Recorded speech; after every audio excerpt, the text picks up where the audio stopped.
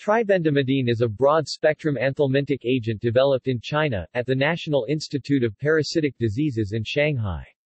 It is a derivative of amidantel. In clinical trials, it was highly effective in treating ankylostomiasis, ascariasis and enterobiasis. However, animal studies suggest it is ineffective in treating schistosoma mansoni or fasciola hepatica disease. The drug has also performed well in trials against opisthorchiasis, curing about 70% of cases. Tribendimidine is manufactured by Shandong Xinhua Pharmaceutical Company Limited in Zibo, Shandong, China. It was approved by the China Food and Drug Administration in 2007. References